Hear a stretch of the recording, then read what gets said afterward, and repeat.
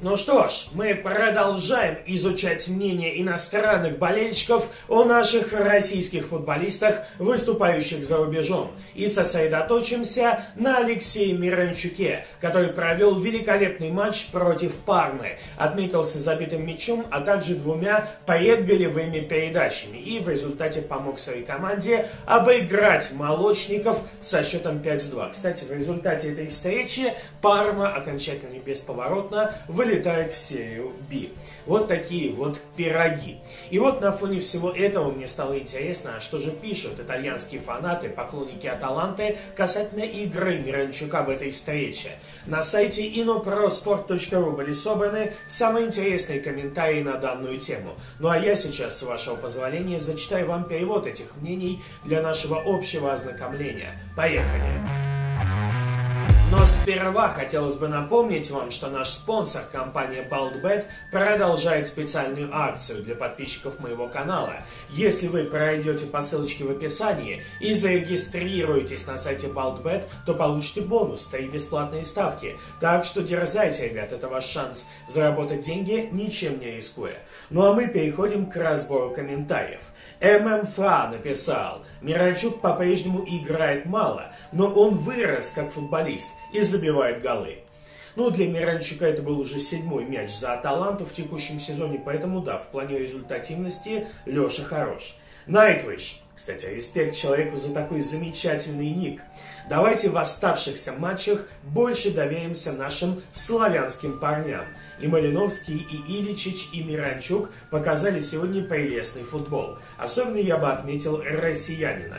Он кажется несколько легковатым на фоне защитников серии А. Но какие же у него ноги? Каждое его касание – это потенциальная голевая передача ну, прям славянское трио получается. Ну, а касательно обострения Миранчука, он сделал еще три отличных передачи на Мехле, Мриеля и Фройлера, когда те тоже могли забивать мячи. Но, к сожалению, не сложилось, поэтому, да, Миранчук постоянно создает опасность. Гимки написал, мне нравился Миранчук с самого момента его прибытия в клуб, но теперь он начинает просто приводить меня в восторг.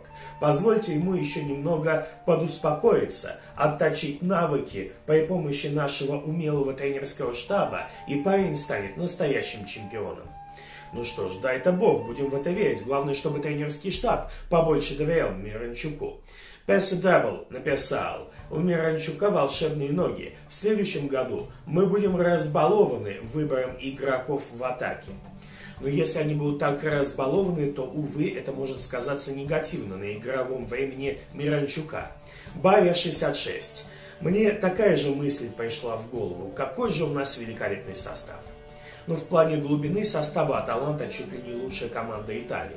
95 Фрэнк написал, в следующем сезоне, как мне кажется, игрового времени Миранчук будет получать значительно больше. Ему присущ высокий класс игры. Он видит поле и очень умно передвигается по полю.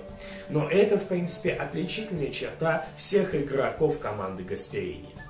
Ну, посмотрим. Хочется верить, что в следующем сезоне действительно будет побольше игровых минут у Миранчука. На эту тему и следующий комментарий от Морето, который написал «Миранчук станет одним из главных оружий в нашем арсенале на следующий сезон, хоть он еще и весьма молод». Фредди Кэтс. Миранчук, как всегда, был очень хорош. Жаль, что мы так мало его видим. Но что правда, то правда, Гасперини иногда даже на замену не выпускает Миранчука, как, например, в предыдущей встрече серии А. Саботео Групп. Каков потолок у Миранчука? Я считаю, что его нет. Он может развиваться до топ-уровня. Девер написал, возьму на себя смелость сказать, что Миранчук великолепный футболист, не только основываясь на статистике, но и глядя на его желания, его талант и личностные качества.